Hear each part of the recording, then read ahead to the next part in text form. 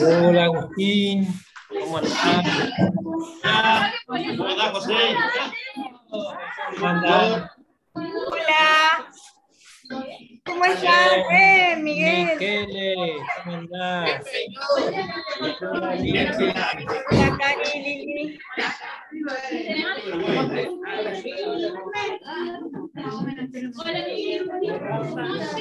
Se el salón. ¿Eh? Se llenó el salón. Se llenó, ¿no? Se llenó el salón. ¡Ah, qué lindo! Jere. Maya, ¿cómo andás? ¿Cómo andás, Jere? Hola, Alan. Hola, Alan. Hola. Hola, buenas noches a todos. Hola. Hola. Hola. Hola, Ale y Valentina. Hola. ¿Cómo andan, Alejandra? Vale.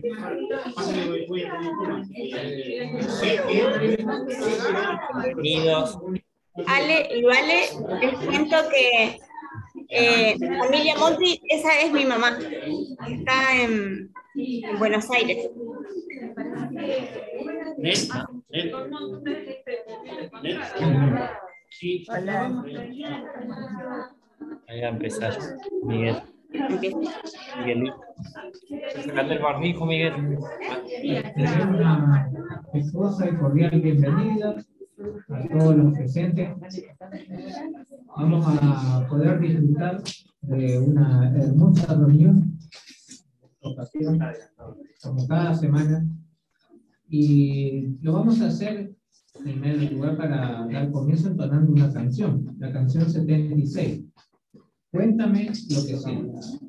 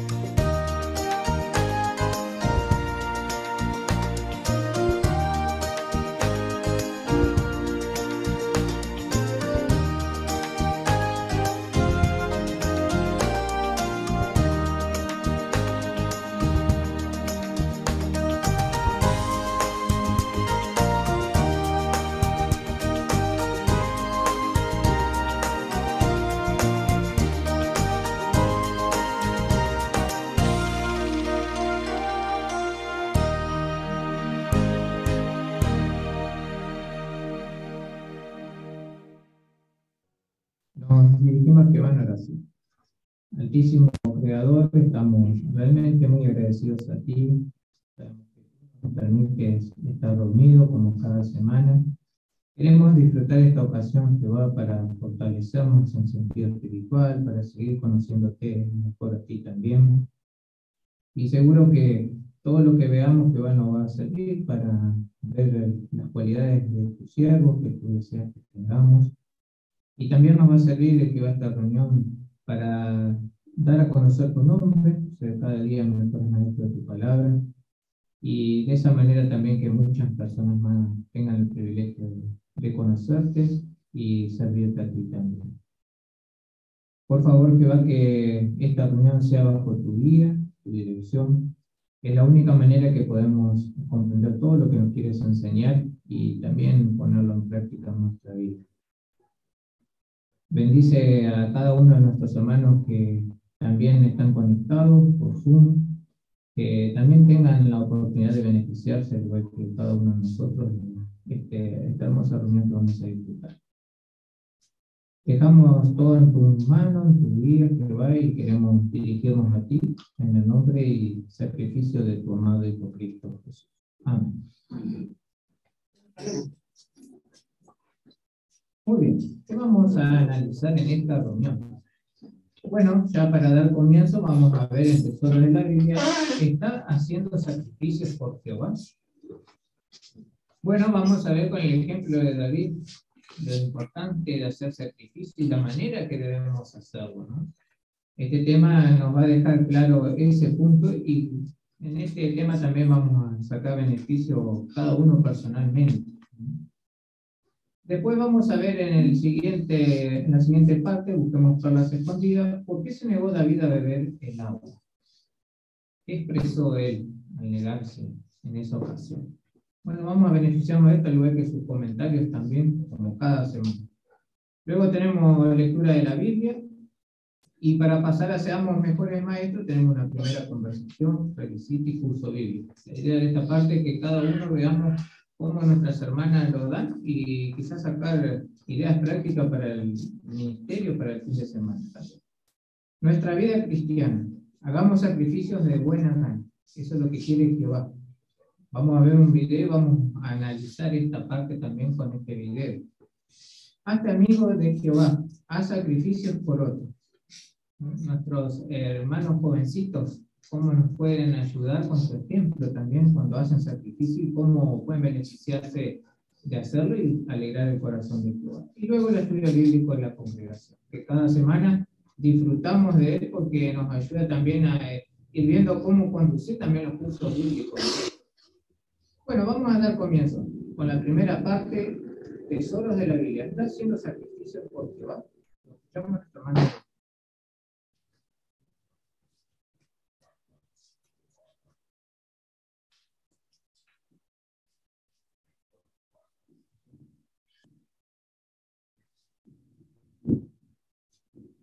Está haciendo sacrificios por Jehová. ¿Qué es un sacrificio? Bueno, hay diferentes definiciones, ¿no? pero hay una que me gustó mucho, eh, que dice así, esfuerzo, pena, acción o trabajo que una persona se impone a sí misma para conseguir o merecer algo o para beneficiar a alguien. Y lo podemos eh, ver cuando, por ejemplo, este, un joven, un joven atleta empieza a prepararse para una competencia. ¿Verdad? Hace sacrificio, empieza a comer mejor, hace ejercicio, eh, duerme lo suficiente, cuida su cuerpo, hace sacrificios para poder participar en esta competencia, para, para beneficio propio.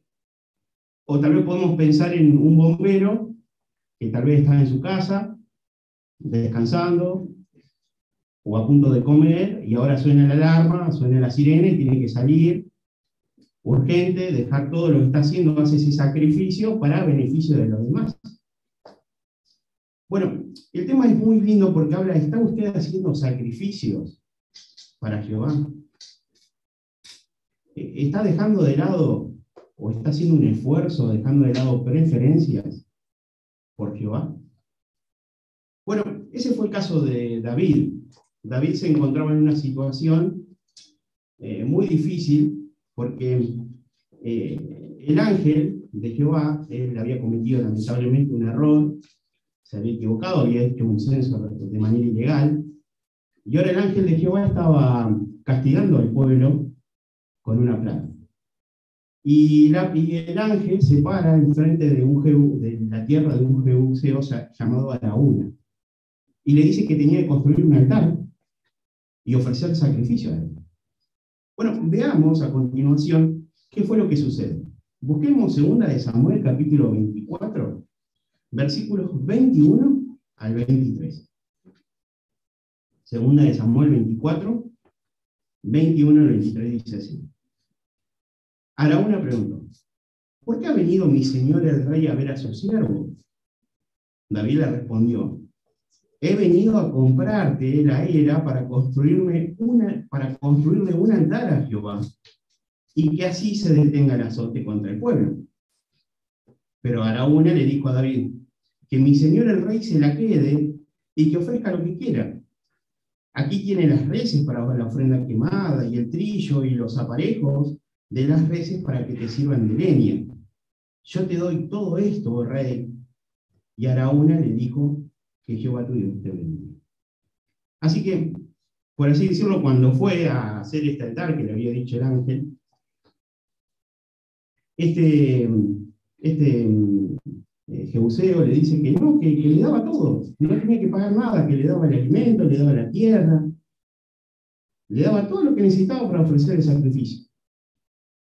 Pero realmente estaba haciendo un sacrificio a Jehová, estaba dando algo de su... Estaba haciendo un esfuerzo David si hubiese aceptado todo esto de manera gratis. Bueno, veamos cómo contesta David a esta, a esta incertidumbre que tenían de sí.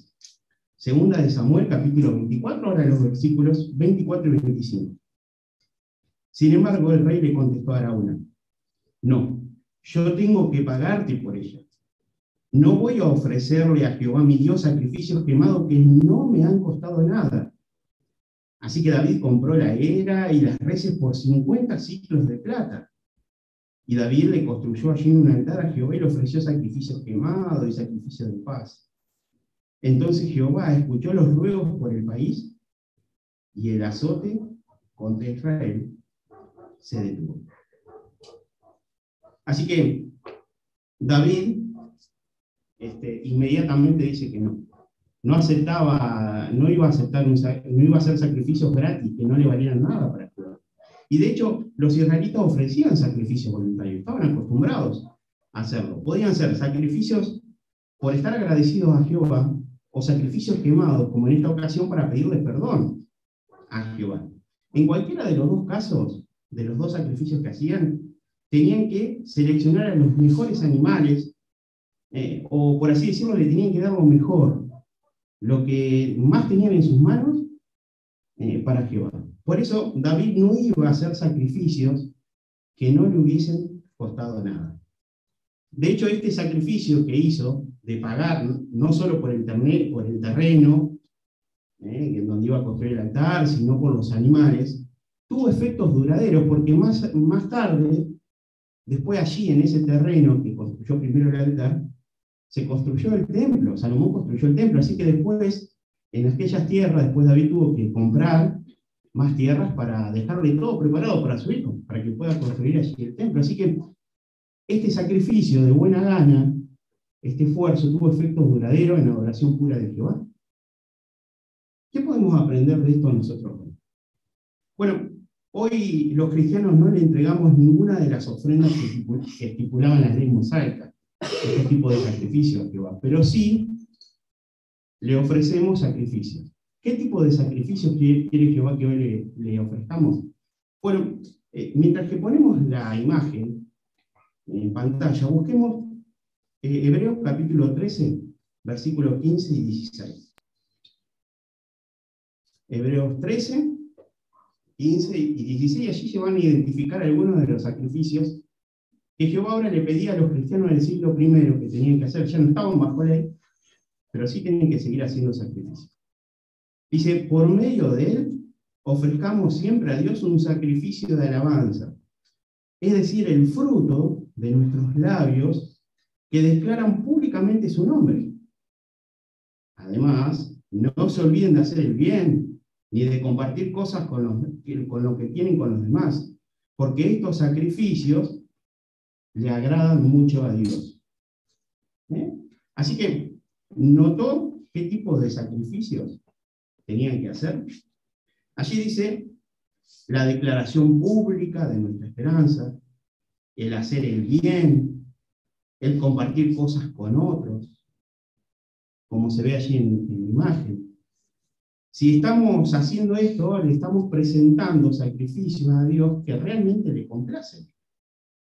Y las cuatro imágenes que vemos allí tienen algo en común. Le están dando a Jehová lo mejor de su tiempo, de sus energías y de sus recursos. ¿Eh? Están haciendo una donación, le están dando de sus recursos, están trabajando en una labor de socorro o en una construcción, están dando de sus energías. Eh, el sacrificio de declaración pública, como en la predicación. Por eso, si hacemos esto, estamos imitando a David y lo que nosotros hacemos puede tener un efecto duradero en la vida de las personas les puede cambiar su vida. Por eso, no solamente podemos cambiar la vida de las personas, sino que podemos alegrar a Jehová. Por eso planteo una pregunta, nuestra guía de actividades. ¿Qué meta puede ponerse para que su sacrificio de alabanza sea cada vez mayor? Bueno, qué lindo, ¿no? Porque eh, durante estas últimas semanas, en nuestras guías de actividades, se nos ha planteado algunas metas que podemos hacer. ¿eh? para que ahora arrancar el nuevo año de servicio, ¿eh? ahora presentándole a Jehová lo mejor. Si lo hacemos, Jehová va a estar feliz. ¿eh? Nosotros también, porque le vamos a dar lo mejor de nuestro tiempo, energía y recursos, y lo que hacemos puede tener un efecto duradero en las personas en las que ayudamos.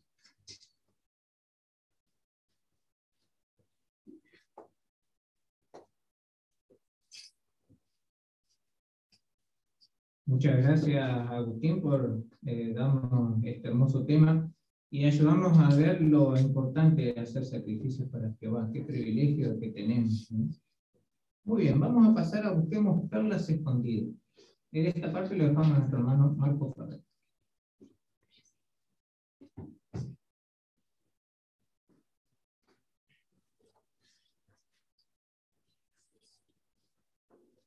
Muy bien, hermanos, vamos a comenzar entonces buscando segunda de Samuel 23 a 17. Vamos a pedir a alguien que lo pueda leer.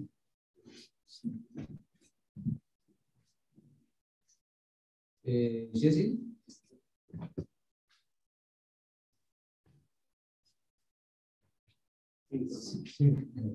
Entonces David expresó este deseo. Si tan solo pudiera un poco de agua de la cisterna que está junto a la puerta de Belén. Ante esto, los tres guerreros poderosos entraron por la fuerza en el campamento de los filisteos, sacaron agua de la cisterna junto a la puerta de Belén y se la llevaron a David. Pero él se negó a beberla y la derramó para Jehová.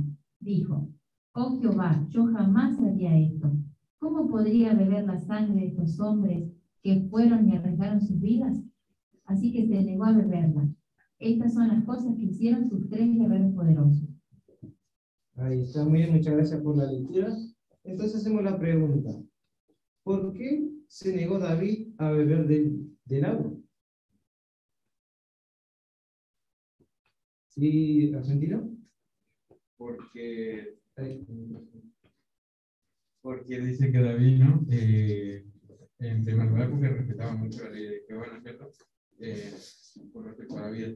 Así que entonces, si él bebía agua que los mismos compañeros habían conseguido por la sangre, por así decirlo, de esas personas que, que, eh, que murieron, este, y si él aceptaba, era como que le iba a recaer por él toda la responsabilidad que, que habían hecho justamente estas personas. Así que él dijo que no iba a beber justamente por eso. Así que, ¿qué podemos aprender nosotros también de esto?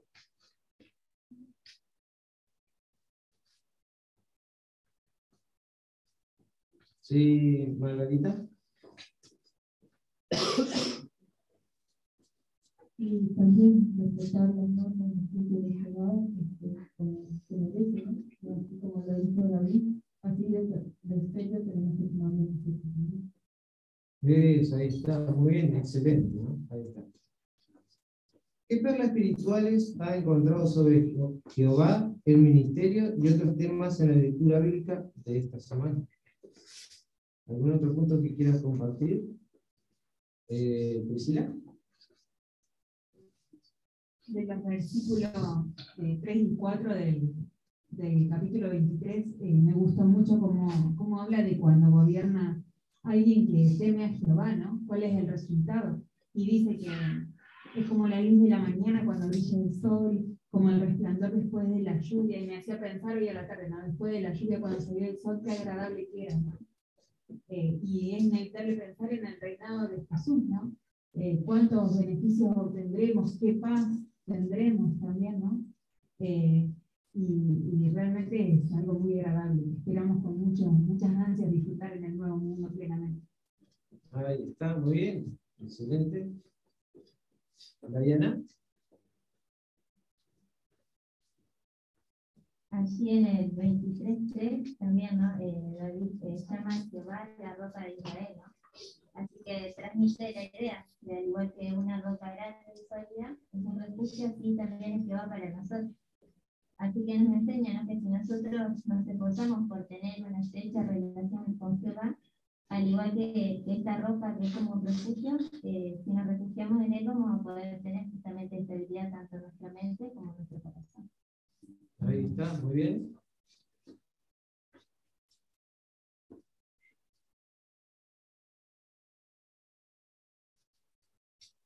Sí, Argentina.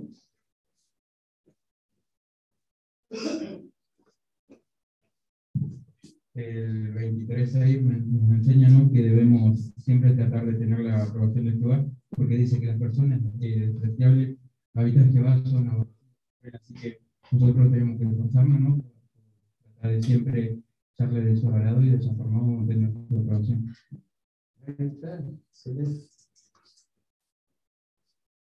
Marina.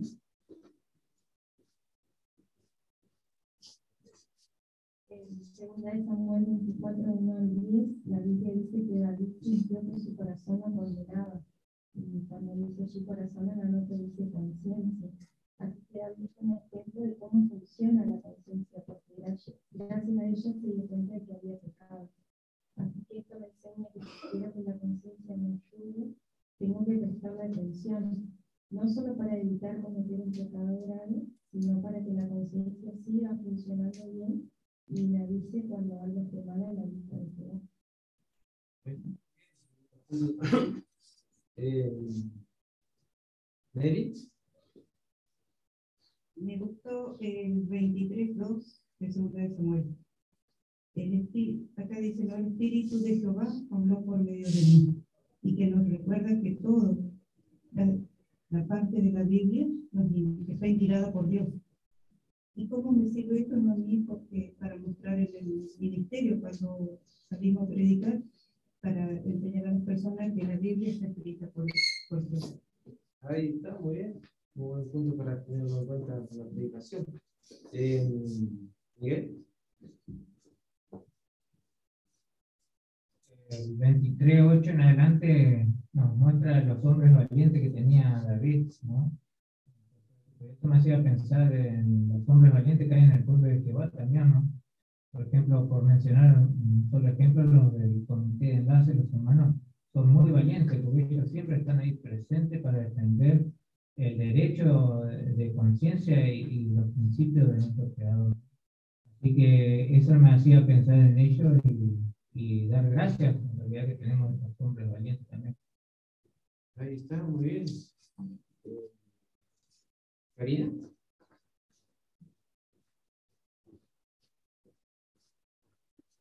En el 24 del 10 al 15 vemos cómo Jehová estuvo dispuesto a mostrar misericordia de David, a pesar de lo malo que había hecho. Porque Jehová eh, se fijó en que él había sido fiel toda su vida y que realmente estaba arrepentido por lo que había hecho. Y que es muy lindo saber que Jehová busca lo bueno de nosotros y también está dispuesto a perdonarnos y es un ejemplo para mí para también tratar de esa forma. ¿no? Ahí está, muy bien. ¿Sí? el 24.1 eh, muestra de que en realidad eh, quien estuvo detrás de este acto que realizó David fue el diablo. ¿no? Y el versículo eh, 3 muestra de que él no le hizo caso a la advertencia que Joab le había dado. Por culpa de él, como menciona allí el versículo 15, en este acto murieron 70.000 personas, ¿no? hasta que él se arrepintió. Así que esto nos muestra de que tenemos que tener mucho cuidado, de cuidar nuestra espiritualidad, nuestra relación con Jehová, porque no importa cuántos años nos lleve, eh, dentro de la organización el diablo siempre intenta que uno cometa un pecado. ¿no? Y peor aún, no solamente nos perjudicamos nosotros, sino nuestra amistad con Jehová, y como mostraba el 15, también perjudicamos a otras personas. Así que es importante que uno cuide mucho su amistad con Jehová. Excelente. Muy bien, queremos agradecerle, hermano, por todos sus nutridos comentarios.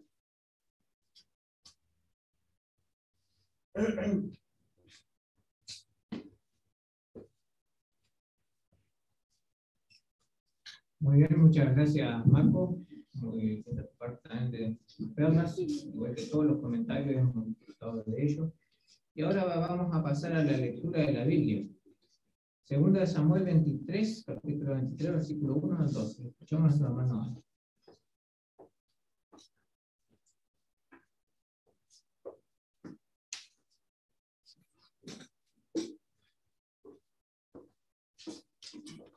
Estas son las últimas palabras de David. Las palabras de David, hijo de José, las palabras del hombre que fue enaltecido, el ungido del Dios de Jacob y el agradable cantor de las canciones de Israel. El Espíritu de Jehová habló por medio de mí. Sus palabras estuvieron en mi lengua. El Dios de Israel habló, la roca de Israel me dijo. Cuando el que gobierna a la humanidad es justo y gobierna con temor de Dios, eso es como la luz de la mañana, cuando brilla el sol, como una mañana sin. Es como el resplandor después de la lluvia, que hace brotar hierba de la tierra. ¿No es así mi casa ante Dios? Porque Él ha hecho conmigo un pacto eterno, bien detallado y seguro. Ese pacto significa mi salvación total y todo mi placer.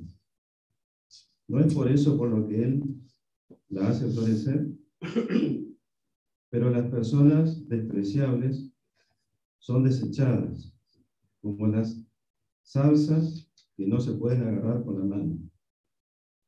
Para que un hombre las toque, debe estar equipado con un arma de hierro y el palo de una lanza, y deben quemarse por completo con fuego, allí donde estén. Estos son los nombres de los guerreros poderosos de David. José Basebe, Mutaquemonita, el líder de los tres. En una ocasión mató a 800 hombres con una lanza. Después de él estaba Eliaser, hijo de Dodó, hijo de Aurí. Él también era uno de los tres guerreros poderosos que estaban con David cuando desafiaron a los filisteos. Los filisteos se habían reunido allí para la batalla y cuando los hombres de Israel se retiraron, él se mantuvo en su posición y mató filisteos hasta que se le cansó el brazo y se le quedó la mano rígida de tanto agarrar la espada. Jehová le dio una gran victoria aquel día, y los soldados iban detrás de él para quitarles a los muertos las cosas de valor. Después de él estaba Samá, hijo de Agé, el Ararita. Cuando los filisteos se reunieron en Leí, donde había un terreno sembrado de lentejas, los soldados huyeron de los filisteos. Pero él mantuvo su posición en medio del campo y lo defendió, matando a los filisteos. Y así Jehová consiguió una gran victoria.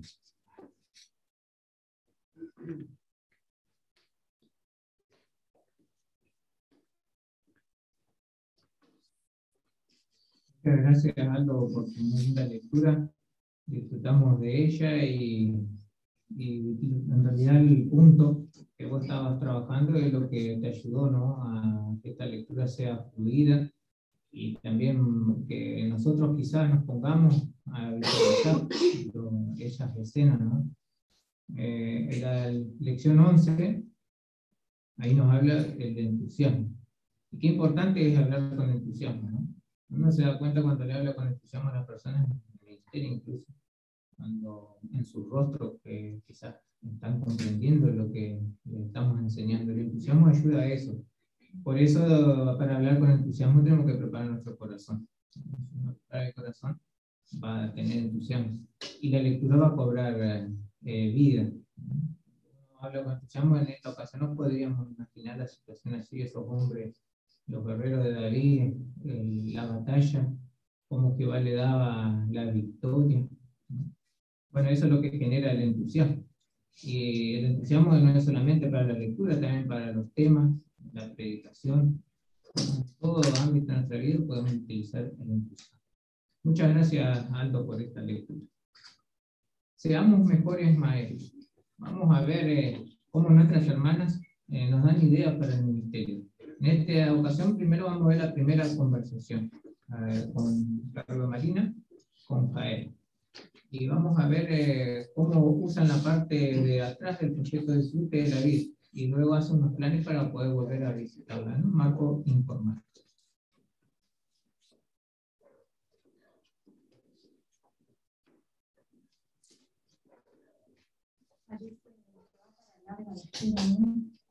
Sí, encima el doctor nos ayuda, así que tenemos que tener Sí. Por eso a mí me resulta práctico eh, traer siempre cuando voy al hospital, ya que va a hacer la la espera, traer algo para leer. En esta ocasión, mira, traje este proyecto que me gusta mucho por el dibujo que tiene te lo presto para que lo puedas ver de cerca. Eh, una hermosa imagen eh, que está realmente para hacer con cuadro, ¿no? Eh, ¿Qué podés notar allí en el rostro de las personas? ¿Ves que están tristes, preocupados o esperando como nosotras a un doctor?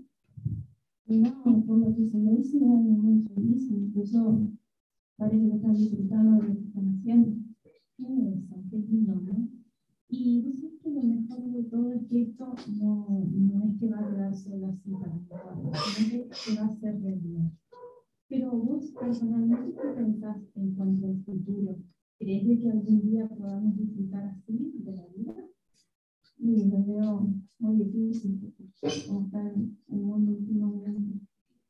Sí, es cierto lo que decís. Pero vos sabés que eh, eh, esto es, eh, como te decía recién, va a ser una realidad. Y me gustaría poder mostrarte dónde yo acá mi celular. Tengo la Biblia y si me permitiste, puedo leer un pasaje de ella. Antes me gustaría presentarme, mi nombre es María. Yo me llamo Jaelín Gusto. Mira, te lo muestro acá de la Biblia, se encuentra en Jeremías 21.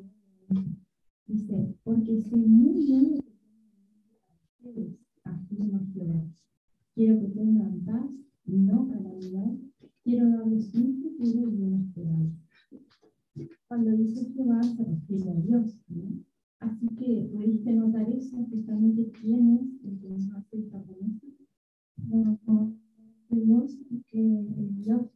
Exactamente. Así que no hay ningún ser humano perfecto que nos puede fallar, sino que es el propio Dios que tiene el poder y el deseo de llevar a cabo esta promesa. Pero claro, vos quizás te preguntes, ¿cómo puedo confiar en alguien que nunca lo pude ver o que no lo conozco. Bueno, justamente este folleto te puede ayudar a tener más confianza en, en conocerlo. Porque, por ejemplo, en su primera lección responde esta pregunta. ¿Cómo puede ayudarle a la vida? ¿Te gustaría seguir con otra charla? Te puedo dejar el folleto y acá mismo te puedo escribir el número de teléfono. Así podemos seguir en contacto. Bueno, dale, Benjamín. Micael, muy linda la primera conversación. y nos da idea también cómo hacerlo en un marco informal, ¿no? Eh, realmente tenemos muchas oportunidades de hablar con las personas, además se nos están animando a conversar de manera informal. ¿Qué punto tuvo presente Marina al, al poder conversar de manera informal? Bueno, la lección 9 eh, y el proyecto maestro nos habla de usar bien las ayudas visuales. Y realmente las ayudas visuales son de mucha ayuda, tienen un poder muy importante si lo utilizamos bien. ¿no? La organización utiliza ayudas visuales a diario para la enseñanza y nos anima a nosotros también a hacerlo. Y eso es lo que dice el proyecto maestro, usar medios visuales para que las ideas importantes sean más fáciles de entender y de recordar. Ya, Marina con la ilustración del folleto, la página, la última página del folleto, allí usó estas ilustraciones muy lindas que habla del futuro que nos espera, ¿no? Y le hizo ver en el rostro de las personas, ¿no? ¿cómo ves el rostro de las personas? ¿La ves triste? ¿Cómo están? Y eso ya la fue preparando para luego leer el texto, Jeremías 29.11, que es la promesa maravillosa de Jehová. Así que qué importante usar la, bien las ayudas visuales. Muy bien. Muchas gracias Marina y Jael hemos disfrutado de esta primera conversación. Luego, en la primera conversación, tenemos la revisita. Vamos a escuchar a Belén y a Diana cómo nos muestran cómo hacer la revisita. Ya visita a alguien que ya ha aceptado el proyecto de disfrute de la vida y después muestra cómo son las clases de Hola, Diana, me alegro encontrarte y pude encontrar tu casa te agradezco que te hagas el tiempo de poder atenderme, sé que siempre estás muy ocupada. Qué bueno que viniste, sí. Eh, a pesar de que siempre estoy ocupada, la verdad es que me quedé muy interesada en eso que me habías dicho, de seguir aprendiendo acerca de lo que nos dice la Biblia. Así que tengo un ratito. Viste que en el video que te mandé eh, mencionaba cómo son nuestros productos de la Biblia y de qué manera nos beneficia analizarla. Allí mencionaba de que nos ayuda a ser felices, a ser más optimista en cuanto a futuro. Sí, estaba muy lindo, lo pude ver. Y justamente me gustó eso, ¿no? Que decía cómo la Biblia nos ayuda a ser optimistas, más en estos tiempos que, que son tan difíciles, ¿no? Y a quién no le gustaría ser feliz, así que estaba muy lindo. Así es, ¿no? Por eso si tenés tu folleto mano que ahí lo estoy viendo, podemos empezar a analizarlo. Fíjate que en la página 3 menciona, mira, ¿cómo puede ayudarle la Biblia? Y ahí menciona eh, como introducción el hecho de que todos tenemos preguntas acerca de la vida, de la muerte, del sufrimiento, inclusive que también nos preocupan las cosas cotidianas, de cómo llegar a fin de mes, de cómo ser felices. Pero mira qué interesante la pregunta que plantea. ¿Crees que la Biblia podría ayudar a alguien que usted conozca? ¿Crees que te puede ayudar a vos?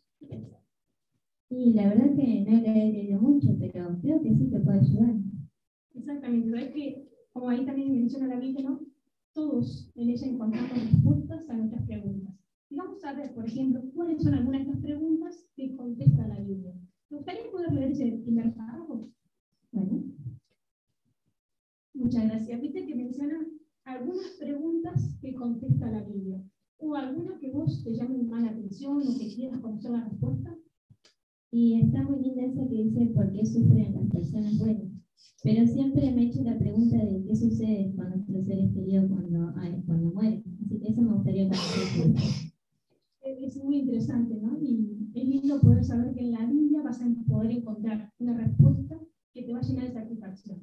Por eso, mira, también me gustaría que podamos ver de qué manera eh, la Biblia nos ayuda hoy en día. Por eso la pregunta 2 dice, ¿cómo nos ayuda la Biblia a disfrutar de nuestra vida diaria? ¿Te gustaría darle lectura al párrafo? Muy bien. Eh, bien, imagínate que vamos a leer 2 Timoteo 3.16. Ya, vos me habías comentado que no tenías Biblia, yo la tengo acá en mi dispositivo, por eso te voy a pedir que puedas leer el texto, 2 Timoteo 3.16. Dice, toda la escritura está inspirada por Dios y es útil para enseñar, para censurar, para rectificar las cosas y para educar de acuerdo con lo que está bien. Muchas gracias. ¿Pudiste notar qué te asegura allí la Biblia? Dice que la escritura es útil. Ah, y todo lo que está escrito en la Biblia proviene de Dios. Por ende, siempre va a ser para nuestro beneficio. Por eso me gustaría mucho, eh, Diana, que puedas aprovechar este análisis de la Biblia para seguir conociendo más la Biblia y ver así por vos misma cómo esta realmente nos beneficia incluso hoy día. Muy bien, muchas gracias Belén, Diana. Eh, muy linda esta parte, ¿no? También de la revisita, muy bien lograda, ¿no? Y sobre todo teniendo en cuenta la lección 3, hacer preguntas. Esto es algo que también siempre se nos anima a hacer buenas preguntas, bien pensadas, preguntas que nos van a ayudar a ver el, qué está pensando el amo de casa, estará comprendiendo lo que le enseñamos, ¿no? Bueno, las preguntas bien pensadas cumplen ese propósito, ¿no? Nos ayudan a, a ir sacando datos de lo que a quien estamos dando estudios también. Y esto es lo que dice el folleto en la lección 3. Haga preguntas con tacto para despertar y mantener el interés oyente. Razonar con ellos y destacar puntos importantes. Eso logra las preguntas. Y Belén lo pudo hacer a lo largo de la revisita, ¿no? Le hizo preguntas bien pensadas. De hecho, las preguntas también que están en el folleto son preguntas que están ahí para que las utilicemos. Pero también nosotros podemos observar en casa su rostro también, a ver si, cómo nos responde, ¿no? Eso es lo lindo de hacer las revisitas y los cursos bíblicos, ¿no? En una ocasión, en una parte, Belén le preguntó, ¿crees que la Biblia puede ayudar a alguien que conozca? ¿Cómo puede ayudarte a vos? Bueno, entonces ella lo estamos poniendo a la casa que medite, que piense, que razone en lo que va a contestar, ¿no? Tanto para él la enseñanza como para quizás un vecino, un pariente. O luego al leerle 2 Timoteo 3:16, ¿qué te asegura la Biblia? La pregunta, ¿no? Entonces la seguridad que Jehová es el que está asegurando eso. Así que muchas gracias Belén y, y también Diana. Hemos disfrutado de esta revisita. Y bueno, luego de hacer la revisita, tenemos los cursos bíblicos, otra faceta del ministerio que disfrutamos mucho, ¿no? Bueno, para esto vamos a dejarla a Anel con Vanessa. Vamos a dejar que nos muestren cómo eh, curso bíblico en la lección 5. Y repaso.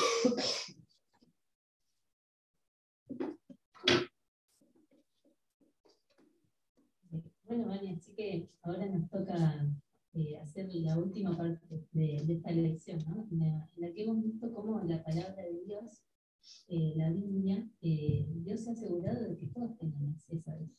¿no? Así que mira, la primera pregunta del repaso dice así, ¿qué quiere decir que Dios inspirara a hombres para escribir la Biblia? Primero que han comunicado a hombres eh, para que escribieran sus sentimientos y Y lo que vimos sobre cómo la Biblia sobrevivió a los ataques que tuvo, eh, incluso sobre la traducción o la distribución de, de, la Biblia. ¿Hay algo que te llamó la atención? Sí, de cómo muchas personas, incluso poderosas, incluso religiosas, han querido intentar acabar con la Biblia, pero no han podido, no han logrado. Hasta incluso hoy en día muchas personas no pueden tener la Biblia en sus casas, incluso en sus propiedades. Sí. Realmente eh, la Biblia se nota que es un libro para todos, está disponible para todos. Y al, al analizar esto, ¿qué sentimos al, al, saber que Dios ha hecho tantos esfuerzos para comunicarse con nosotros? Y la verdad que agradecido, poder tener la Biblia conmigo. Qué lindo, qué lindo esos sentimientos que, que expresás. ¿no? Realmente vemos que, que, Dios se ha esforzado por darnos este regalo tan hermoso, ¿no? Como. Y ahora, personalmente, ¿cómo crees que vos ahora podrías demostrar ese agradecimiento a Dios y demostrarle que valorás la Biblia como su palabra? Bueno, sería obedecer lo que está escrito, sí, hacer caso de lo que Él nos dice. Claro, muy bien eh, qué lindo eso, porque uno de esa forma deja que la Biblia sea su guía. Eh, pero algo, una idea muy linda también es lo que dice ahí en el cuadro, eh, propóngase esto. Eh, ¿Quieres ver cuál es la idea que dice Sergio? Comienza a leer la Biblia diariamente con las tablas, ideas para empezar a leer la Biblia. ¿Qué te parece esto? De, de todos los días, un leyendo la Biblia y hacerlo una rutina? Sí, la que tengo la vida tan ocupada, por así decirlo, no tengo tiempo para leerla y es más, sincera, cada vez que empiezo a leerla, eh, llega a cierto punto que me aburre, entonces la dejo. Bueno, te entiendo, la verdad. Este, a todos por ahí nos ha costado incluir la Biblia dentro de, de las actividades que hacemos en el, día a día. ¿no? Eh, por eso viste que vos ahí eh, leíste que había una tabla con eh, ideas para empezar a leer la Biblia. Mira, vamos a mirarlas juntas. Está al, al inicio de- del libro. ¿ok? La, la idea que se nos da es que nosotros podamos elegir un tema que nos guste y después leer los textos bíblicos que, que allí se mencionan. ¿no? Por ejemplo, mira, ahí donde dice eh, buenos consejos para el día a día. Supongamos que a vos te interesa el tema de la oración. Viste que dice que el- el- los versículos que hablan sobre este tema en Salmos 55, 22. Bueno, la idea sería que vos pudieras leer el capítulo entero, ¿no? entonces saber bien cómo fueron las circunstancias en las que se escribieron estas palabras. Eh, de esa forma, dedicando unos minutitos al día, ya vas a tener una idea para pensar durante el día. ¿Qué te parece esta forma de empezar a leer la Biblia? ¿Te parece por ahí un poco más atractiva? Sí, la verdad que está interesante. Me voy a, esforzar por leerla. Y estoy que habla acerca del futuro, cuando necesito ayuda. La verdad que no sabía que había estos temas ahí. Eh, realmente muy práctica, ¿no? La Biblia, en todos estos puntos. ¿Y cómo crees que, que verá Jehová Dios estos esfuerzos que vos vas a hacer por sacar un tiempito de tu vida para leerla? Y yo creo que se va a poner feliz, se va a poner contento. Y vos vas a ver que vos también te vas a sentir contento porque cada día vas a sentirte más cerca de él. Así que bueno, te dejo esta, esta tabla para que la puedas ir durante la semana y después me comentás cómo te fue eso. Dale, te cuento. Muchas gracias, Mel y Vanessa. Muy bien el curso bíblico. Eh, fue bien llevadero, conversado, muchas preguntas. Ayudó a, a también, en este caso, Vanessa, que estaba, que estaba estudiando, a que vea en su vida cómo le está- iba a ayudar la lectura de la Biblia. Y esto es lo que muestra la lección 19, llegar al corazón si logramos llegar al corazón, vamos a lograr motivar a nuestro oyente a que actúe, ¿no? Es, eh, lo motivamos también a que lo ame a Jehová y lo haga con el, el motivo correcto, también lo que va a hacer. Y esto se vio durante el curso bíblico, como con las preguntas la ayudaban esa que se piensa en ella personalmente. Y todos nosotros tenemos que hacer eso en realidad, que el de casa piense cómo le va a ayudar la lectura por lo que le estamos enseñando, eh, si lo pone en práctica aunque le cueste. Sabemos que la lectura de la Biblia es algo que a muchas personas les cuesta, a nosotros mismos nos cuesta. Bueno, pero ayudarla a organizarse con una tabla, horario, ¿no? hacerle ver beneficios, la buena pregunta de ver cómo Jehová la- se va a sentir, cómo la va a ayudar también. Y esto es lo que logramos con la lección 19. Hacemos preguntas eh, retóricas que ahora despierten la curiosidad por saber la respuesta y cómo ponerlo en práctica también. Muchas gracias, Eli y Vanessa, por esta parte. Muy bien, hemos concluido con la primera parte. Ahora queremos pasar a la parte de nuestra vida cristiana. Para eso vamos a entrar a la canción 17. Quiero.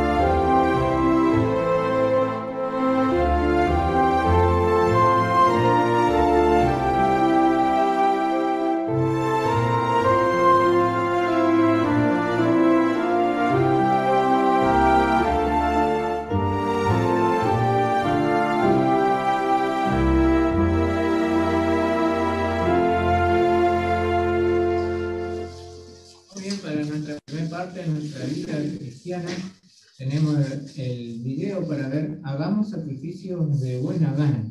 En esta parte vamos a ver el video todo.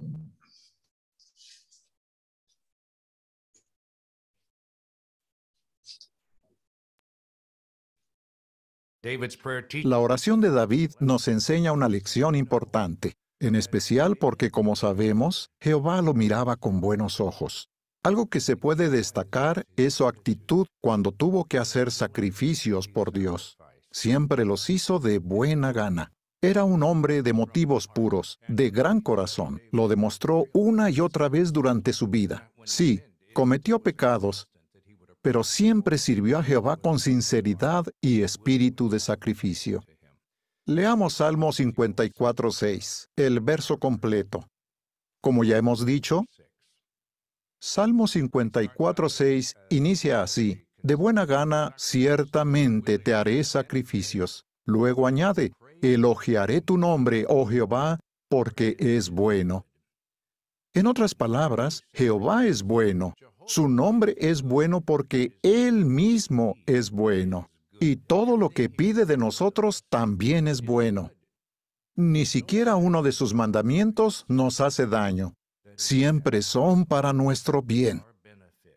Hasta la destrucción de la gente mala es algo positivo, pues es muestra de su amor hacia quienes desean vivir en paz y experimentar la alegría de adorar a Dios. Sí, lo que Jehová hará pronto es muy bueno, así que tenemos razones de sobra para sacrificarnos de buena gana por nuestro maravilloso Dios. Como sabemos, cuando ofrecemos un sacrificio a Jehová, Él ve más allá de lo que estamos dando o de las cosas a las que hemos renunciado. Él puede ver los motivos que acompañan un sacrificio. Sin duda esa fue una de las razones por las que rechazó el sacrificio de Caín, no fue porque Caín solo ofreciera unos frutos. La Biblia dice que Jehová no vio con buenos ojos ni a Caín ni su ofrenda, debido a que tenía una mala actitud. Sí, los motivos por los que estaba haciendo sacrificios no eran los mejores. Y esto también concuerda con lo que Amós escribió sobre los judíos de su época. Busquemos el capítulo 5 de Amós, versículos 21 a 24. Y notemos cómo se sentía Jehová al ver los sacrificios que hacían los judíos de los días de Amós. Amós 5:21 dice, He odiado, he rechazado sus fiestas y no disfrutaré del olor de sus asambleas solemnes. Esas palabras tal vez se referían al incienso que utilizaban o a algo similar. Luego, el versículo 22 añade, pero si ustedes me ofrecen holocaustos, ni siquiera en sus ofrendas de dádivas me complaceré, ni sus sacrificios de comunión de animales cebados miraré. La lección que aprendemos es que el problema no estaba en las cosas que los judíos ofrecían en sacrificio. La realidad es que el soberano del universo no necesita que se sacrifique un animal en el altar. El problema era la actitud del pueblo, los motivos por los que hacían las cosas. Fíjense en cómo expresó Jehová su sentir en el versículo 23. Dijo, remuevan de mí la bulla de sus canciones, y el sonido melodioso de sus instrumentos de cuerda no oiga yo. Después Jehová mencionó lo que realmente esperaba de ellos, y que salga rodando el derecho como aguas, y la justicia como un torrente que constantemente fluya. La expresión la bulla de sus canciones indica que el sonido de la música y los instrumentos que tocaban quizás era muy fuerte. La atalaya hizo un interesante comentario al respecto. Dijo que en la actualidad la cristiandad utiliza música en sus celebraciones, lo que equivale a la bulla de aquellas canciones. Mezclan costumbres paganas con el nombre de Jesús para aparentar que honran a Dios. Tal vez esto nos haga pensar en la época navideña y en la bulla de sus canciones, esas que suenan en las tiendas por todo el mundo, pero los dueños de todas esas tiendas quizás ni siquiera crean en Dios, quizás sean ateos o judíos o tengan otras creencias. Así que no tienen la mínima intención de honrar a Jesús ni al Dios Todopoderoso. Su interés es comercial, y eso nos hace pensar en las palabras de Amós. La atalaya del primero de febrero de 2014 también menciona otro aspecto interesante sobre los sacrificios. Dice, la ley de Dios exigía que los sacrificios que se llevaban al templo fueran de la máxima calidad. Filón, escritor judío del siglo I, señala que los sacerdotes inspeccionaban los animales desde la cabeza hasta el extremo de las patas para verificar que estuvieran sanos y sin defecto alguno. Así que el animal debía estar sano antes de ingresar al templo e incluso antes de que lo vendieran para usarlo como sacrificio. La revista continúa. Según el biblista E. P. Sanders, es probable que el templo solo permitiera la venta de animales previamente inspeccionados por los sacerdotes. De ser así, el vendedor tendría que dar al comprador algún tipo de comprobante de que el animal estaba libre de defectos. Y añade, en 2011, un equipo de arqueólogos descubrió una ficha o comprobante de ese tipo en los alrededores del templo. Un sello de arcilla en forma de moneda que data de entre el siglo I antes de nuestra era y el año 70 de nuestra era. Esto abarca la época en que Jesús estuvo en la tierra. El artículo también dice, tiene inscritas dos palabras arameas que se han traducido puro para Dios. Se cree que los oficiales del templo ataban estas fichas a los productos o animales destinados a los rituales. ¡Qué interesante! Hebreos 13:15 menciona que nosotros también ofrecemos sacrificios de alabanza, el fruto de labios. ¿Y verdad que es así? ¿Cuál podría ser nuestro documento, nuestro recibo, que indique que dichos sacrificios para Dios son puros? Bueno, no queremos hablar de ningún antitipo, pero sin duda podemos estar agradecidos de que no se nos exija un documento cada vez que predicamos, hacemos una revisita, damos un curso bíblico o participamos en obras de construcción. Por cierto, el informe de predicación que entregamos cada mes no es un comprobante, para nada. No hay ser humano que esté autorizado para evaluar nuestros sacrificios ni determinar si merecemos recibir un documento que indique que nuestro sacrificio es puro. Como David, seguimos ofreciéndole de corazón a Jehová todo lo que tenemos. Ahora bien, cuando adquirimos una buena conciencia, una educada por la Biblia, en cierto sentido, esta llega a ser nuestro comprobante, eso que nos permite sentirnos bien por saber que estamos dándole lo mejor a Jehová. No nos concentramos en alcanzar una cifra de horas de servicio con la idea de que eso nos hará santos o dignos de recibir honra. No, lo hacemos porque deseamos ofrecerle lo mejor a Jehová. La atalaya del 15 de diciembre de 2013 lo expresa de esta manera. Si vivimos según los principios bíblicos, todo sacrificio que hagamos nos producirá gran alegría y satisfacción y será especialmente acepto a los ojos de Jehová.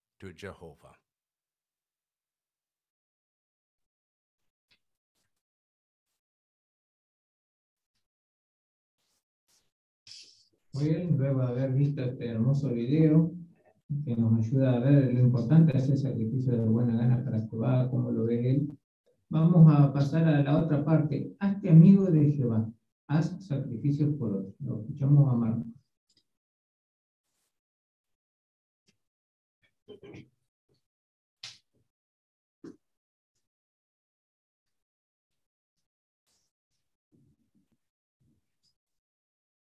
que todos nos sentimos bien cuando alguien hace algún sacrificio por nosotros, ¿no? Eso es eh, algo natural, ¿no? Al sentirnos bien. Y esto Jesús lo sabía muy bien, por eso que Él hizo mucho sacrificio por las personas cuando Él estuvo en la tierra, ¿no? Así que vemos que es un gran ejemplo para todos nosotros, ¿no? Pero no solamente nosotros podemos, los grandes, hacer sacrificios, sino que también los chicos también, ¿no? Por eso que ahora a continuación vamos a poder ver eh, el video de este amigo de que va a sacrificios por otro. Y luego hacemos algunas preguntas.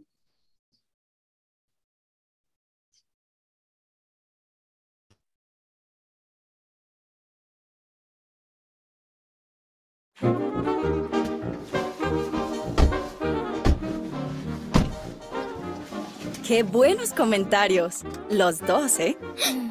Y mami, ¿podemos ir... ¿Al parque? Ajá yo creo que sí.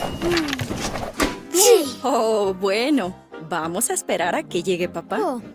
Y a ver qué dice. Hmm. Ahí viene. Oh, parece que alguien necesita que lo llevemos. Muchísimas gracias. Espero que no cambien sus planes por mi culpa. Oh. Con esta tarde tan bonita. Muy bien. Vamos a llevar a Andrés a su casa y ayudarle con algunas cosas, ¿ok?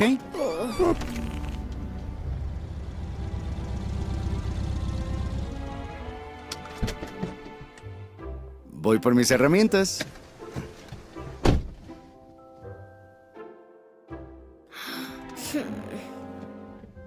¿Sabes, Caleb? Hoy puedes hacer algo que Jesús hacía todo el tiempo. ¿A ¿Hacer algo? ¿Cómo qué?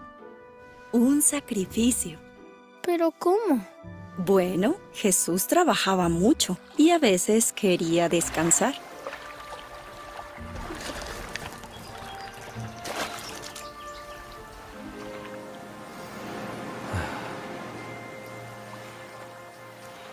Cuando la gente necesitaba su ayuda, Ayúdanos. hacía un sacrificio y dejaba de hacer lo que él quería. ¿Para ayudar a alguien? Claro,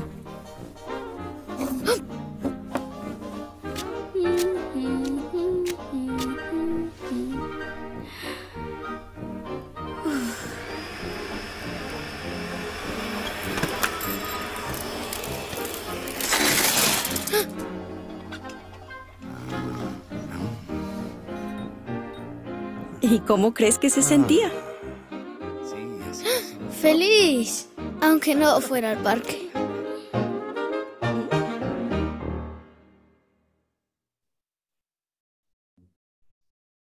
Muy bien, muy lindo video, ¿verdad? Así que vamos a hacer la primera pregunta. Vamos a hacerle a Lara en este caso. La pregunta es, ¿qué sacrificio hicieron Sofía y Caleb? Vamos a escuchar el audio. Caleb y Sofía tenían, tenían muchas ganas de ir al parque, pero tenían que ir a un hermano. Caleb se enojó un poquito, pero después Caleb entendió que, que es bueno hacer cosas por los demás. Ahí está, muy bien. Ahí está, le agradecemos entonces a Lara por mandar el audio. Excelente. Ahora le preguntamos a todos ustedes, ¿no? Pueden compartir si quieren sus comentarios. Dice la segunda pregunta, ¿cómo ayudó el ejemplo de Jesús a Caleb? Según lo que hemos podido ver, ¿cómo lo ayudó a, su- a Caleb el, el ejemplo de Jesús? ¿no? Sí, Alan. Y Jesús también eh, era consciente de que tenía que hacer sacrificios por otros, ¿no? Incluso cuando él tenía necesidades propias, como por ejemplo descansar.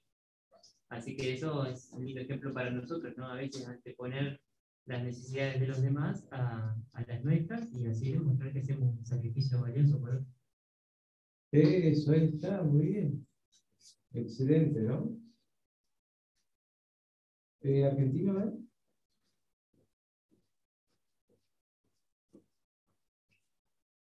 Así que ahí vimos, ¿no? Cómo la mamá de Caleb le ayudó, ¿no?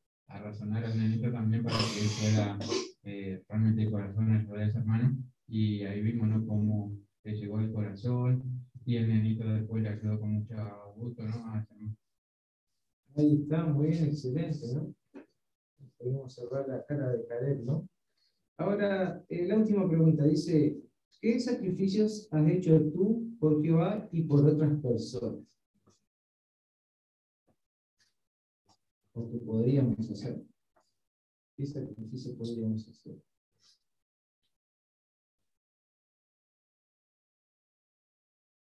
A ver, Jessy.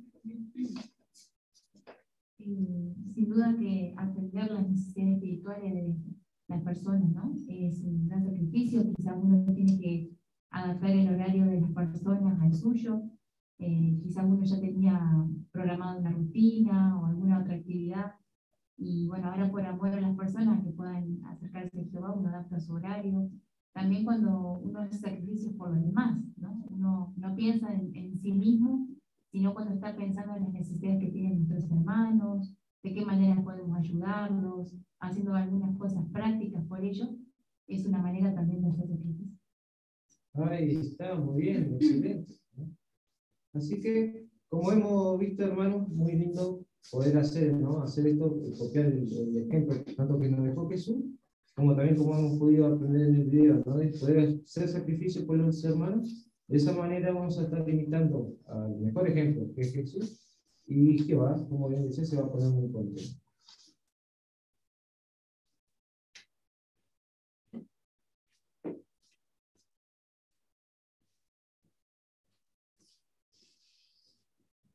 Muchas gracias, Marco. Muy linda también esta parte.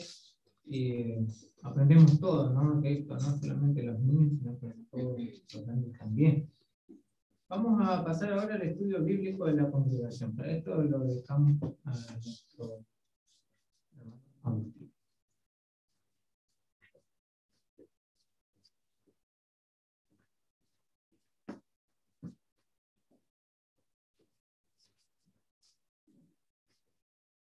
Muy bien, bienvenidos hermanos al estudio eh, del libro Disfrute, la lección 13, nos toca analizar eh, el día de hoy. Así que, eh, para empezar, es por medio de preguntas y respuestas, así que animamos a que todos puedan comentar, incluidos los que están por Zoom, de manera, levantando la mano de manera virtual, lo van a poder hacer. con la lectura nos va a ayudar nuestro hermano José, así que le pedimos si nos puede leer el párrafo de introducción y el párrafo 1. Si Dios es amor y las religiones dicen que hablan y actúan en su nombre, ¿por qué han cometido tantas atrocidades? En otras palabras, en pocas palabras, ¿por qué estas religiones son, fal ¿por estas religiones son falsas? Con sus mentiras y sus actos manchan la reputación de Dios. ¿De qué manera lo han hecho? ¿Cómo le hace sentir esto a Él? ¿Y qué va a hacer al respecto? Las religiones falsas han cambiado la verdad de Dios por la mentira. Por ejemplo, muchas de ellas no le enseñan a la gente el nombre de Dios. En cambio, la Biblia dice que tenemos que usarlo. Algunos líderes religiosos dicen que cuando ocurre una tragedia es por voluntad de Dios. Pero eso es mentira. Él nunca tiene la culpa de las cosas malas que pasan. Es triste decirlo, pero mentiras como estas han hecho que la gente se aleje de Dios. Muy bien, muchas gracias, José. Entonces, la lección 13 se titula Las religiones falsas manchan la reputación de Dios. ¿no? ¿Cómo es esto, según el párrafo de introducción? ¿no? ¿Cómo lo hacen a esto? ¿Cómo hacen eh, ahora, cómo mancha la reputación de, Dios las religiones falsas? Eh, ¿Alan? Bueno, diciendo representar a Dios y hablando de eso, pero cometiendo, como dice allí, atrocidades. Claro, ahí está, muy bien, muy bien. Excelente. ¿Jessy? Y también, como menciona allí, con mentiras, ¿no? Eh, enseñanzas incorrectas acerca de Jehová y también con sus actos. Muy bien. ¿Cómo han manchado la reputación de Dios con sus enseñanzas, por ejemplo? Teniendo en cuenta ya, vamos a mencionar la primera que menciona el padre.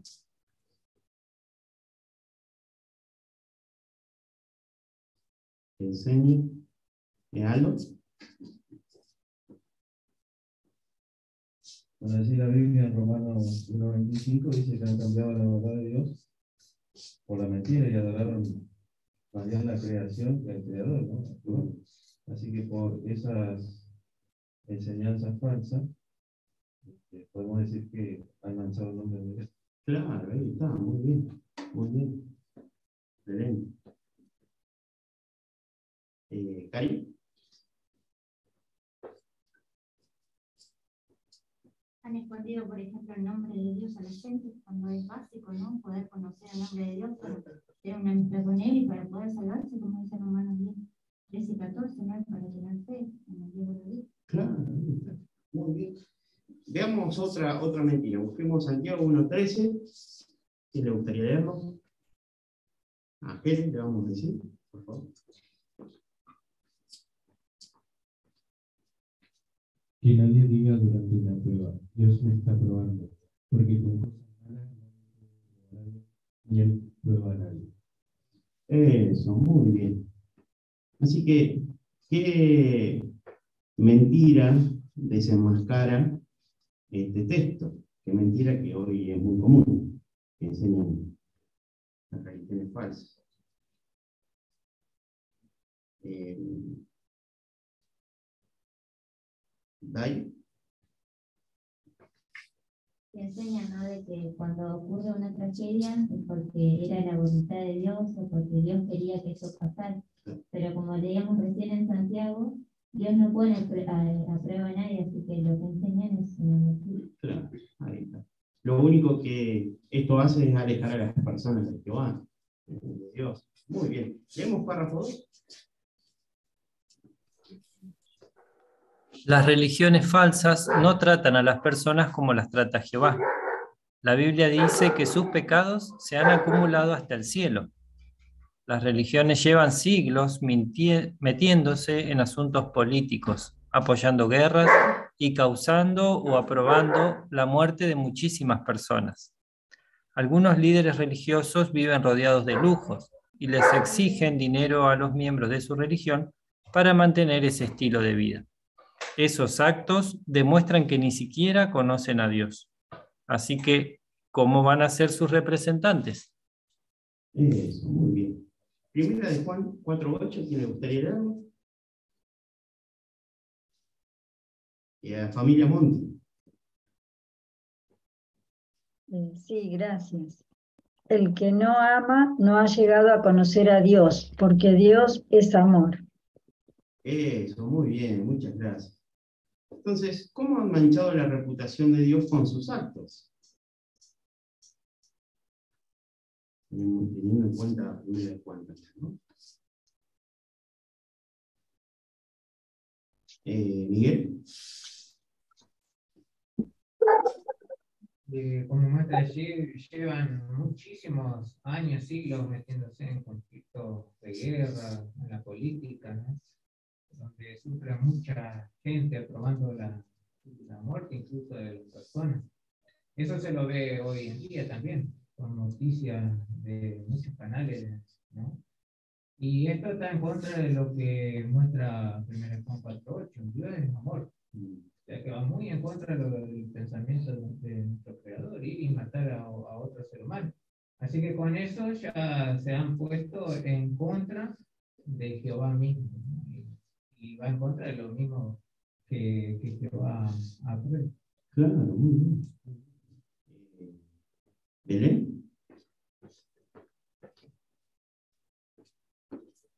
También me parece que mencionas que viven rodeados de grupos y le exigen dinero a la gente, ¿no? Para seguir manteniendo un estilo de vida. Por eso, como muy bien menciona la Biblia, ¿no? sus pecados están acumulados al cielo y Jehová va a pedir cuentas por eso. Eso, muy bien. Por eso estos malos actos, dijo Jehová, eh, se han acumulado hasta el cielo, dice, ¿no? Excelente, muy bien. Párrafo 3, José, último párrafo que leemos. Si a usted le indigna lo que hacen las religiones falsas, imagínese cómo se siente Jehová. Él ama a la gente, pero está furioso con los líderes religiosos que manchan su reputación y maltratan a las personas que lo siguen. Dios promete que la religión falsa será destruida y que nunca más se la volverá a ver. Pronto acabará con todas las religiones falsas. Muy bien, gracias José. Muy linda lectura. Párrafo 3 entonces pregunta, ¿qué siente Dios al ver lo que hacen las religiones falsas?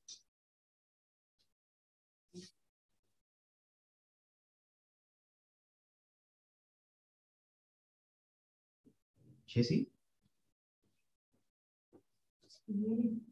él, está indignadísimo y furioso, dice, ¿no? Porque él ama mucho a las personas, pero estos líderes eh, con sus enseñanzas manchan la reputación de Jehová, las alejan de él, las maltratan.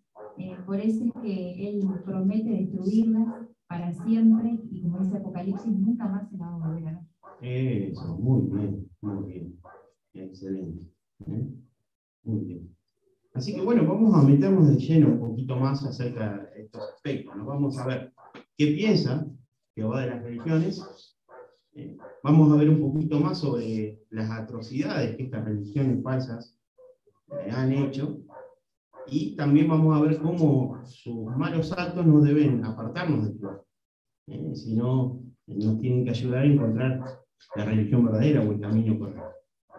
Por eso, el punto 4 dice, Dios no aprueba todas las religiones. Mucha gente cree que las religiones son distintos caminos que llevan a Dios. Pero ¿es eso cierto? Bueno, leamos Mateo capítulo 7, versículos 13 y 14 y veamos allí eh, lo que nos dice. ¿Quién le gustaría leerlo? Eh, ¿Cari? Entren por la puerta angosta, porque ancha es la puerta y espacioso es el camino que lleva a la destrucción, y son muchos los que entran por esa puerta. Mientras que angosta es la puerta y estrecho es el camino que lleva a la vida, y son pocos los que lo encuentran. Muy bien. Entonces, según la Biblia, ¿cómo es el camino que lleva a la vida? ¿Y María?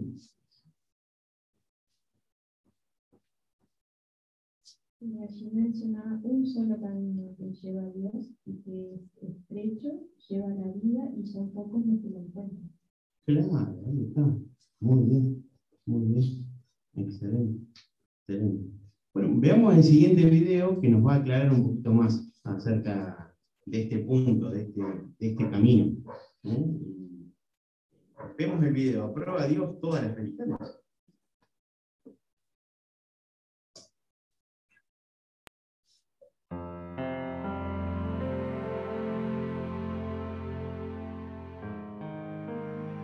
Muchas personas creen que todas las religiones son buenas, que solo son diferentes caminos que llevan a Dios. Pero, ¿es verdad? ¿Aprueba Dios todas las religiones? La Biblia compara las religiones con dos caminos, uno ancho por el que pasa mucha gente y uno estrecho que poca gente logra encontrar. El camino estrecho representa la única religión que Dios aprueba y que conduce a la vida y a la bendición de Dios. ¿Cómo podemos saber si estamos en el camino correcto? Imagine que se ha perdido y necesita ayuda para llegar a su destino. Una persona le dice que vaya hacia el este, otra que vaya al oeste. Finalmente, alguien le muestra con un mapa que, en realidad, tiene que ir hacia el norte. ¿A quién le haría caso? La Biblia es como un mapa que nos dice cómo adorar a Dios para tener un futuro feliz. Entonces, ¿por qué hay tantas creencias contradictorias? Por ejemplo, muchas religiones enseñan que el alma es inmortal y que vive en el mundo de los espíritus. Pero otras enseñan que al morir, nos reencarnamos en un ser humano o en otra forma de vida. Este es tan solo un ejemplo de cómo muchas creencias se contradicen. ¿Cómo podrían todas las religiones estar enseñando la verdad? Según el mapa, los muertos no saben nada en absoluto. A su debido tiempo, Dios los resucitará y los justos vivirán para siempre en la tierra. La Biblia explica claramente esta enseñanza. Pero, ¿qué enseña, por ejemplo, sobre cómo debemos comportarnos? Quizás tengamos una religión, pero si nuestra conducta ofende a Dios, es posible que Él rechace nuestra adoración. La Biblia dice que hoy en día las personas no tendrían autocontrol, serían feroces y no amarían lo que es bueno. Sin embargo, también dice que quienes de verdad adoran a Dios serían pacíficos y que hablarían y actuarían con bondad. La Biblia no dice que Dios aprueba todas las religiones, Dice que solo hay una fe. Quienes practican la religión verdadera pueden ser amigos de Dios y vivir para siempre.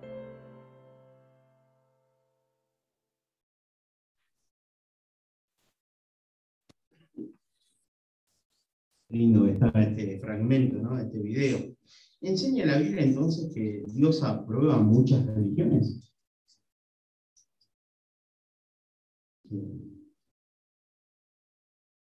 ¿Cari? No, claro que no. Efesios 4.6 dice que hay una sola fe, ¿no? O sea, una sola religión que Dios aprueba. Y eso tiene lógica, porque es imposible que todas las religiones, cuando tienen enseñanzas tan eh, contrarias unas de otras, que puedan este, ser del lado de Dios, incluso hasta que tengan una conducta o un estilo de vida que no tiene nada que ver con la personalidad de Dios. Claro, muy bien. Muy bien.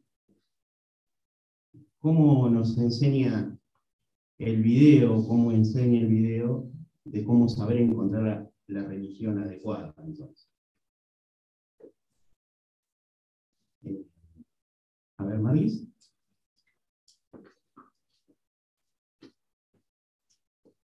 Y justamente ahí hacía un ejemplo, ¿no? Cuando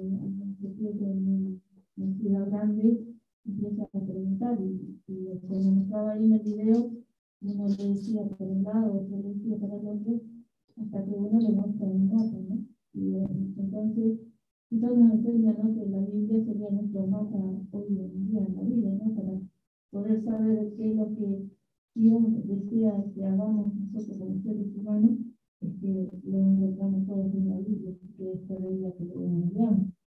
Claro, ahí está, muy bien. Muy bien. Así que vimos claramente en este punto 4 que Dios no prueba todas las religiones, pero sí hay una, hay una fe, como se decía en el video, que sí aprueba, ¿no? Es importante encontrarla, ¿no? Muy bien, veamos el punto 5. Las religiones falsas no reflejan el amor a Dios. Y las religiones han manchado la reputación de Dios de muchas maneras. Una de ellas han sido participando en las guerras. Bueno, veamos en un video qué papel ha tenido la iglesia, en, por ejemplo, la Segunda Guerra Mundial.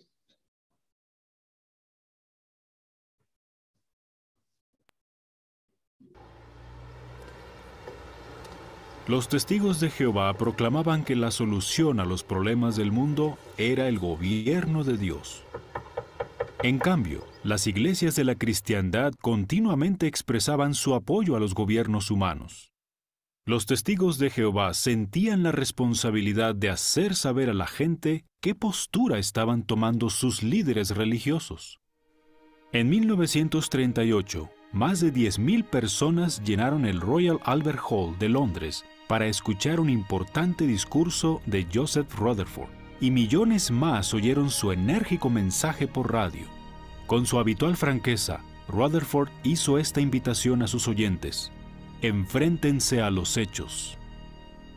El dictador del totalitario gobierno alemán ha hecho una alianza con el Papa. Los hechos indisputables son que la jerarquía católica romana está usando métodos políticos para tener el control del mundo. Rutherford se refirió al papel de la Iglesia Católica en la subida al poder de Adolf Hitler, sus alianzas con regímenes fascistas y sus presiones sobre muchas naciones para convertirse en la religión estatal.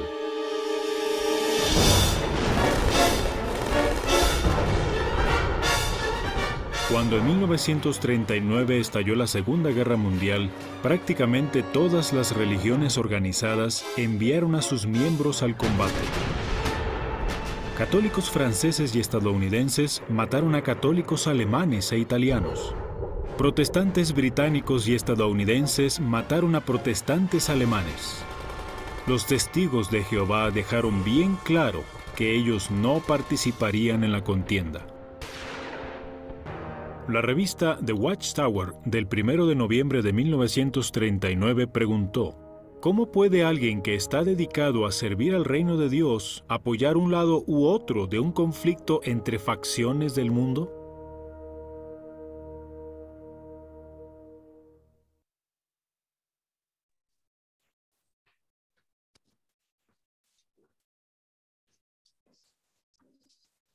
Postura adoptaron muchas iglesias durante la Segunda Guerra Mundial?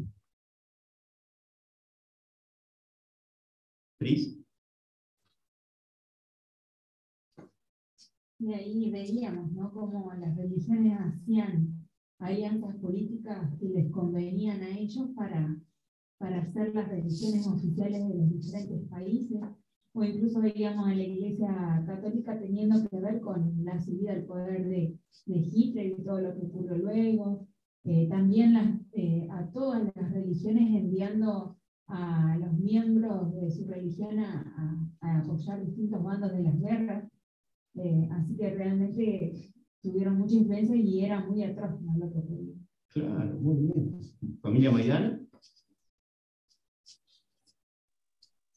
Así que vemos cómo ellos han manchado el nombre de Dios, ya que decían que, Dios los iba a apoyar, sea, tanto a los católicos de un lado, del otro, y los protestantes también. Así que de esta manera fueron manchando el nombre de Dios y fue una forma muy cruel en la que ellos utilizaban el, nombre de Dios para, para mostrar de una forma vana que, Dios era cruel, de una manera que se mataban unos a otros. Pero los testigos de Jehová dejaron bien claro de que ellos no eran parte del mundo. Claro, muy bien. ¿Qué piensa usted de lo que hicieron? ¿Qué podemos pensar de lo que sucedió?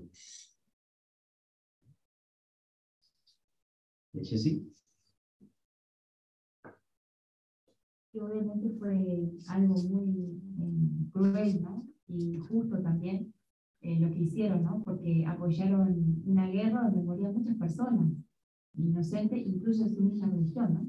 Me parece importante que cuando uno eh, muestre el video a los estudiantes, eh, le haga saber muy bien realmente cuál es la postura que tiene Dios, que tiene Jehová ante estas cosas, y que una religión que se involucra en política y en guerra realmente no es del agrado de Dios. Eso es algo coherente incluso para cualquier persona, ¿no? Así que es fundamental que adopte este punto de vista para que entiendan cuál es la de Dios. Claro, muy bien, muy bien. Así que eh, para nosotros no nos cabe en la cabeza, ¿no? De que haya habido tanta maldad, ¿no? Atrás de estas cosas, ¿no? Eh, que se hayan escudado atrás de, de, de Dios, ¿no? Pero ¿cómo lo verá Jehová? ¿Cómo ve Jehová estos actos? Bueno, veamos dos textos que nos ayudan a ver la manera de pensar de Jehová. ¿Eh? Tratemos de identificar cómo se siente, cómo se sintió cuando vio esto. Juan 13, 34 y 35.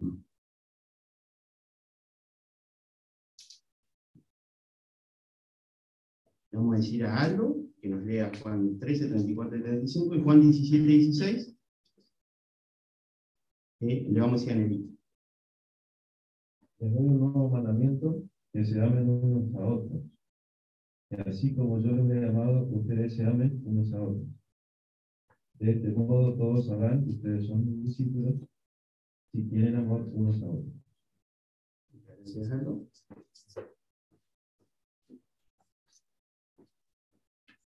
Ellos no son parte del mundo, igual que yo no soy parte del mundo. Excelente, muy bien. ¿Qué debe sentir Jehová cuando las religiones se involucran en las guerras?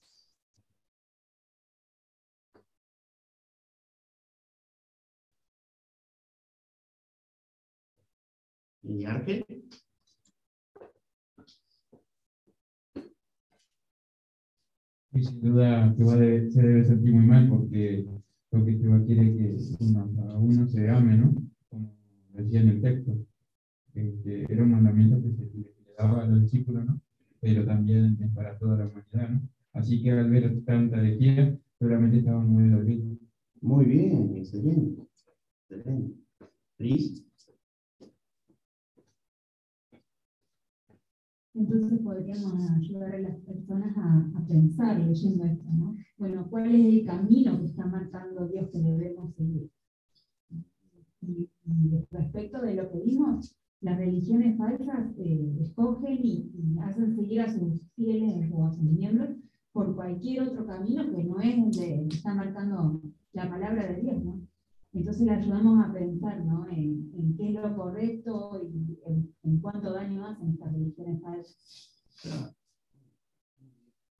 Y mientras ponemos en pantalla la siguiente imagen, podemos hacer eh, el siguiente comentario con la pregunta. ¿no? Las religiones falsas son responsables de muchas barbaridades y no reflejan el amor de Dios, ¿no? como se ve allí.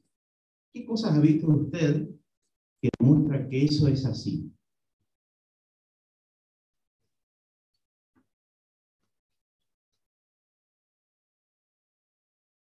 Miguel.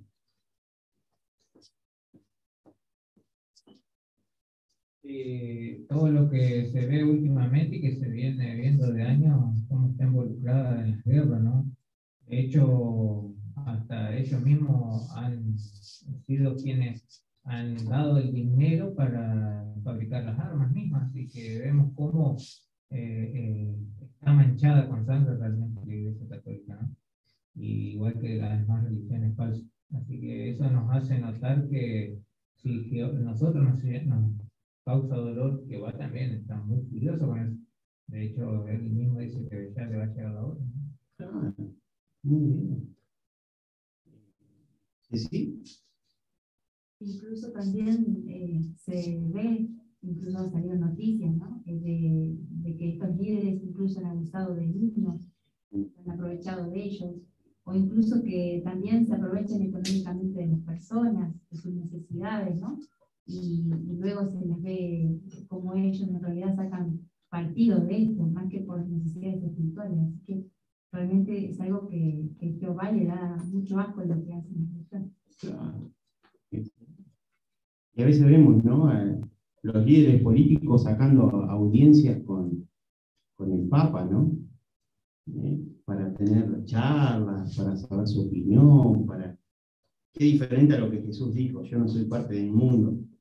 Y animó a sus discípulos a no ser tampoco parte del mundo, ¿no? No estar mezclados. ¿no? ¿Qué, qué, qué diferencia, qué contraste. Excelente, muy bien. Así que, sin duda, las religiones falsas no reflejan el amor que Dios tiene y que quiere que sus siervos o su eh, pueblo tengan. Muy bien, veamos el siguiente punto. Dios quiere liberar a la gente de las religiones falsas. Y esto no- nos deja claro Apocalipsis 18.4. ¿Eh? ¿Quién le gustaría leer? ¿A él?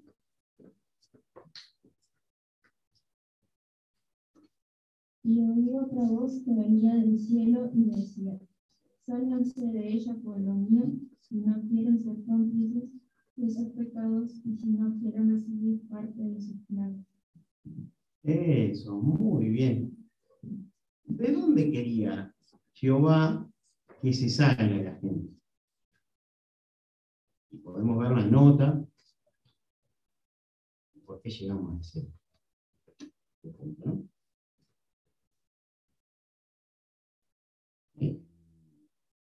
Maris.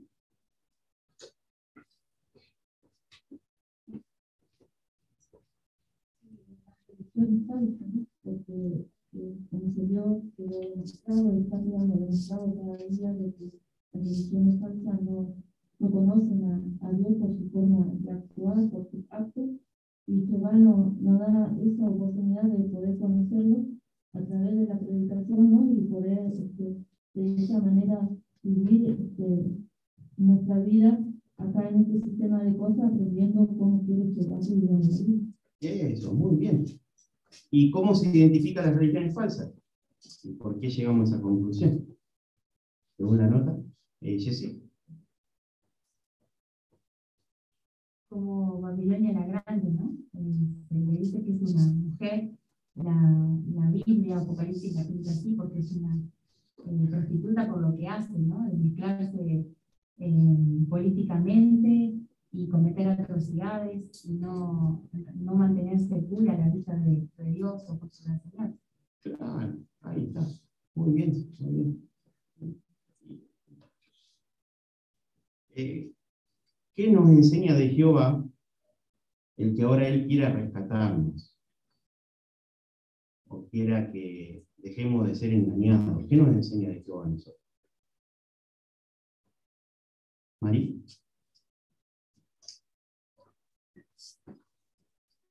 Realmente un de amor que se interesa por nosotros, que no es que le da igual eh, cómo lo haremos, ¿no? sino que quiere que realmente nos acerquemos a Él, pero de la manera que a Él encanta. Claro, claro, ahí está.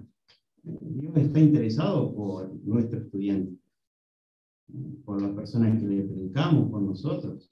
¿eh? Excelente, quiere rescatarnos. Por eso nos marca, nos dice, sálganse. Dejen de, de, ser engañados. Muy bien, no deje de aprender acerca de, de Dios verdadero. ¿Quién le gustaría leer el párrafo siguiente allí? Eh, ¿Nel? ¿Debemos pensar mal de Dios por culpa de lo que han hecho las religiones falsas? ¿Quién es el único que rechaza los sabios consejos de su padre, se va de su casa y lleva una mala vida? El padre no aprueba lo que hace su hijo. ¿Sería justo culpar al padre por la vida que lleva su hijo rebelde? Eso, muy bien. Así que según este, este comentario, ¿sería justo culpar a Dios por lo que hacen las religiones falsas y dejar de aprender más de Él? Y justamente es lo que sucede, ¿no? Muchas personas dicen, no, no, yo ya no quiero saber nada con las religiones. Claro, le han hecho tanto daño. Eh, miel.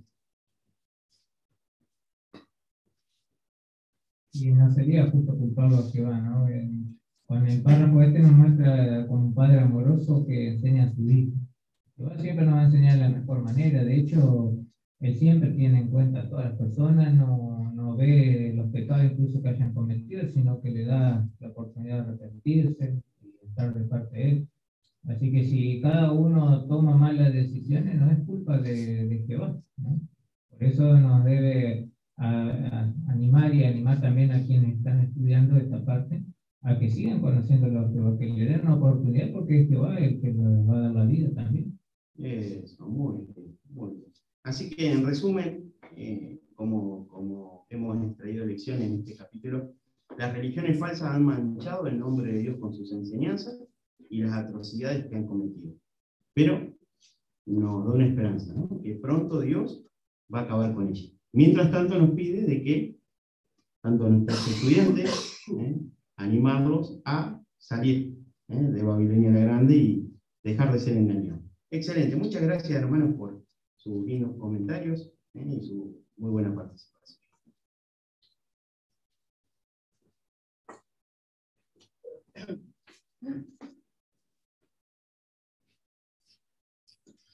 Muy bien, muchas gracias Agustín por habernos dado esta parte del estudio bíblico de la congregación.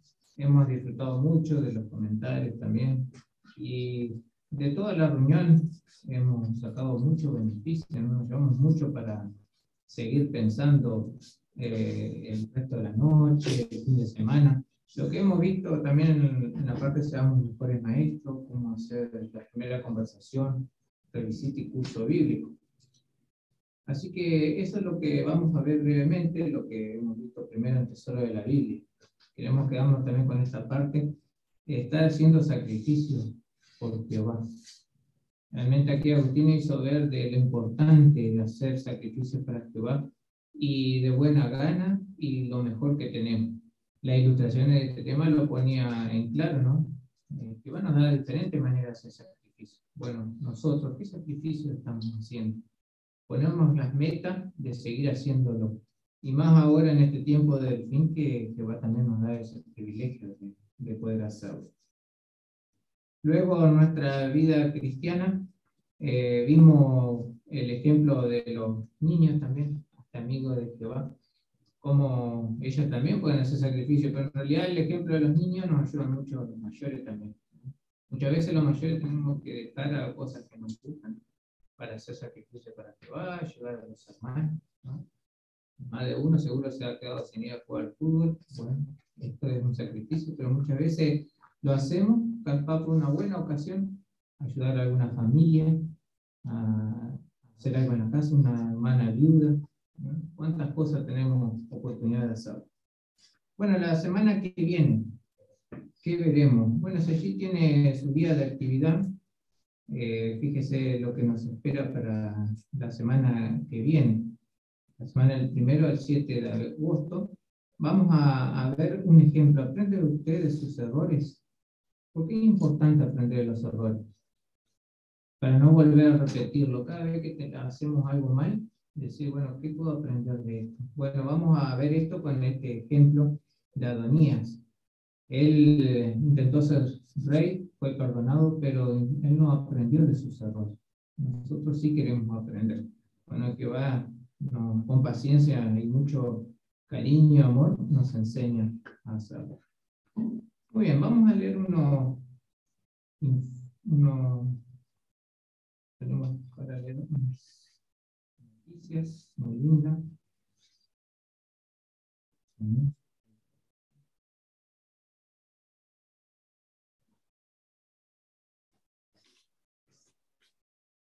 Bueno, dice para las congregaciones de Argentina y Uruguay. Campaña mundial en septiembre de 2022. Durante el mes de septiembre de 2022 haremos un esfuerzo especial por todo el mundo para ofrecer cursos bíblicos a tantas personas como sea posible utilizando el proyecto Disfrute de la Vida. Tenemos muchas expectativas para que sea un mes de actividad sin precedentes.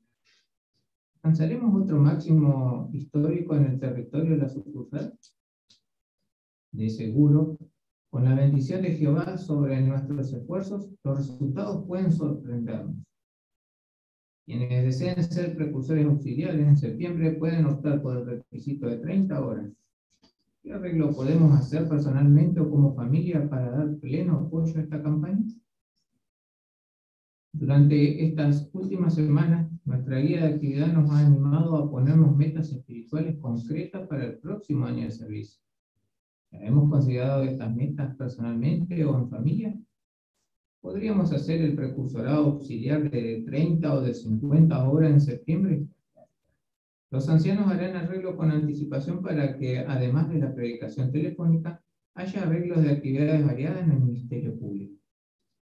Lo animamos a orar a Jehová específicamente sobre este tema y si es posible, pónganse la meta de ser precursores auxiliares en septiembre. Dicho mes será especial, también porque tendremos mucha compañía en el ministerio y pondremos podremos aportar nuestro granito de arena para impulsar la obra de ser discípulos. Sepan que oramos diariamente para que puedan cumplir sus metas de servicio y para que sigan recibiendo la fuerza de Dios que puede hacernos bien. Así que esta es una muy linda oportunidad, ¿no? La campaña de septiembre y en la cual cada uno nos hace pensar en el privilegio también de poder tomar el precursorado, poner metas. Así que si es ese su deseo, como decía aquí, póngalo bajo oración, hable con los ancianos y seguro lo va a poder lograr. Eh, otro tema a tener presente es eh, para este fin de semana, recuerden que tenemos el programa de la asamblea también, así que cada uno vaya haciendo los arreglos, vamos a tener la atalaya como el fin de semana pasado, con, sin la lectura, con solamente los comentarios por Zoom, y luego en nuestros hogares vamos a poder ver el programa del sábado de la tarde, eh, a las 9, como me hace señas Agustín. Ya me había olvidado. Menos que lo tenemos Agustín en el fondo. A las 9 sí vamos a, a estar temprano, entonces después durante el día podemos ir viendo el programa, que de hecho va a estar muy, interesante, muy animado. Canción 32. Vamos a entonar la canción número 32. Ponce de parte de Dios. Luego Agustín nos